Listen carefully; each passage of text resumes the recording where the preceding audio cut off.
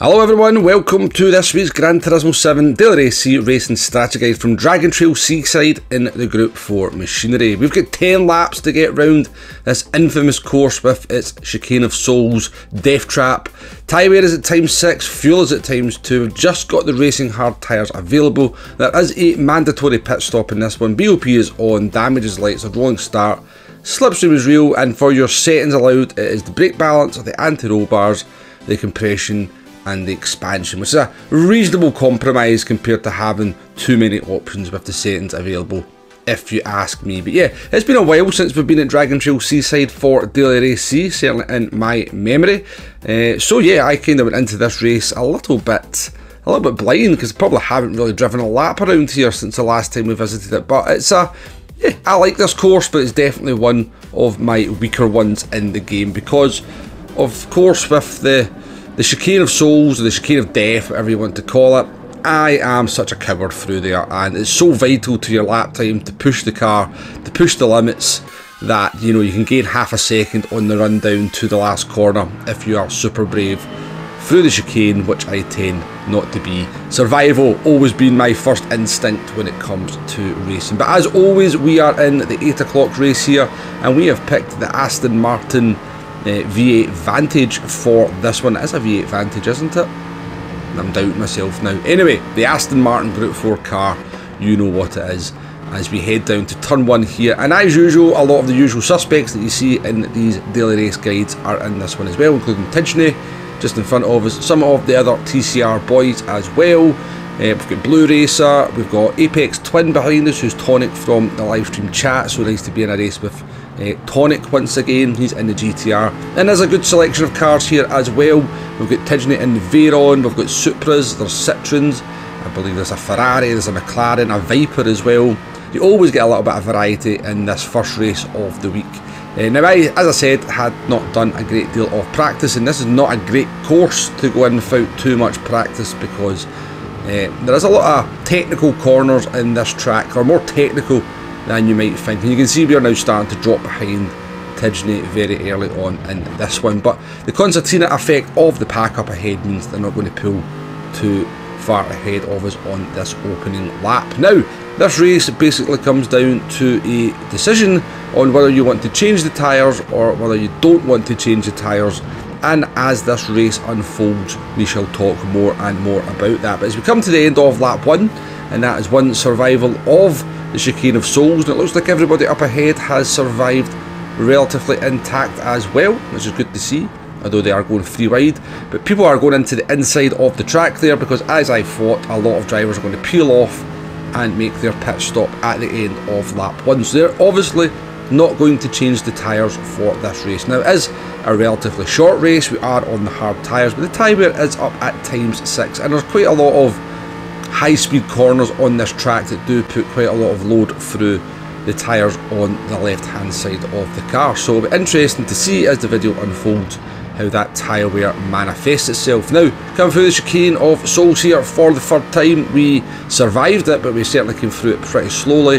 We survived it better than the Finnish driver, let's just say that, but it has allowed Tonic to go down the inside of us. Wait till you see the back of Tonic's car here, did make me laugh. Uh, in the Nissan GTR. Uh, yeah, I like that livery. Tonic, nice one. That did give that put a smile on my face when I, I seen you going down the inside and let you pass there. It did look faster than me to be fair. So uh, eh, when he had the opportunity to go for the overtake, we did not fight that too much. And we took a slipstream of Tonic up until the end of lap 5, where we decided to peel off into the pitch. Now do be careful at the pit lane here. That white line comes up very quickly, so you need to make sure you're on the inside of the track. No late dives into the pits on this one. Now I decided I was going to change the tyres. I had done a test pit stop before the race. Uh, I knew the non-tyre change was 1.6 seconds, but normally changing the tyres on Group 4 can be pretty quick. So I thought, you know what, let's change the tyres, see how long it takes for the, the purposes of the video. And you can see it's 4.6 seconds stationary time. So that's going to cost you 3 seconds to change the tyres. Now is it going to be worth it? Let's find out as the race goes on. But all said and done, your pit loss with a tyre change is going to be 20 seconds or just a shade under 20 seconds and to not change the tyres just a shade under 17 seconds. So 3 seconds saved by not changing the tyres, fuel no issue of course. Here's the problem though with changing the tyres. Uh, we came out behind the Swiss driver here in the Citroen that's not changed the tyres and we've got Shadow up ahead in a Supra who's also not changed the tyres and overtaking generally is pretty difficult at this track. It's pretty difficult in Group 4 and you know what it's like in Gran Turismo. People fight very hard for their positions, you know. Nobody kind of oh, rolls the red carpet out for you. Neither should they, to be fair. But yeah, people really do fight quite hard at Gran Turismo for these positions. And as you can see, we are embroiled in a battle with a couple of drivers who haven't changed the tyres. Now we're clearly quicker than both of them because uh, I'll show you their tyre wear at the end of the race. But you certainly, if you don't change the tyres, you do start to suffer a little bit towards the end of the race. Some drivers more than others, some cars more than others. But you can see we should be doing like low 47s here with the fresh tyres.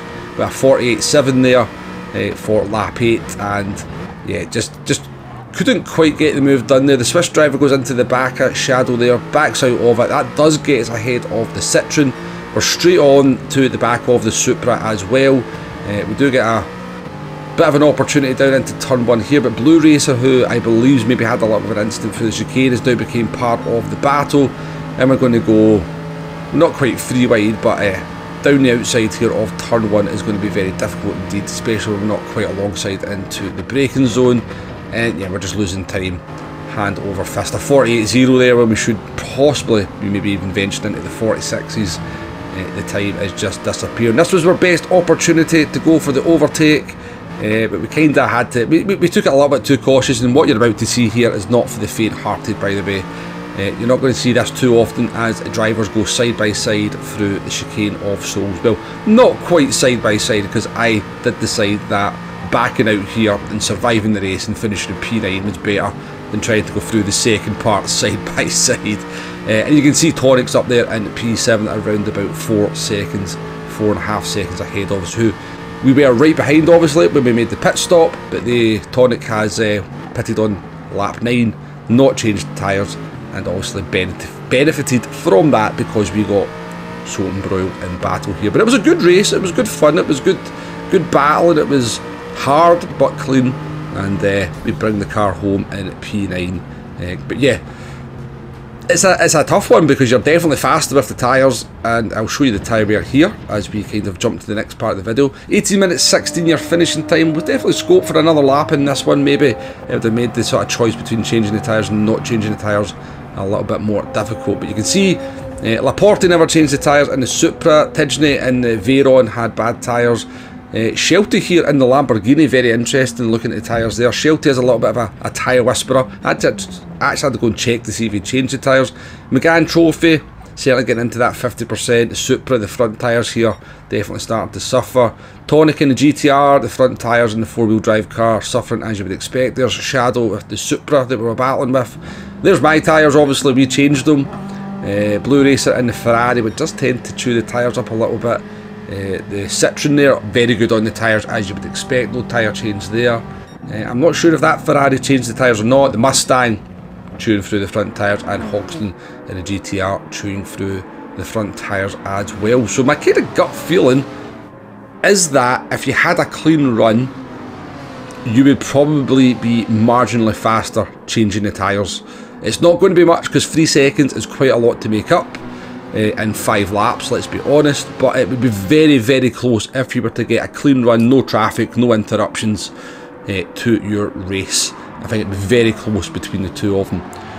However, as Group 4, the racing tends to be very close together. Three seconds to give up to another driver is a lot uh, in a race like this because it will cost you, certainly in a lot of the, the higher splits, it's going to cost you 3-4 positions on the track possibly and as you've seen how difficult it is to overtake there uh, you're just going to lose more time overall so I think my gut instinct suggests don't change the tyres because it's just too costly if you're kind of in like the mid pack or towards the back but maybe lower down if you're really really bad on tyre wear definitely consider that tyre change. You may be able to make the positions back up but it's very very close between the two of them. Uh, but I just think the nature of the racing in Group 4, how close the racing is, how hard it is to overtake, you probably have to go for the non-tyre change to be truly competitive in this one. But hopefully the video has been useful in some way, shape or form. Do join me for a live stream or two later on in the week. Thank you for watching. I'll catch you on the next one. Goodbye now.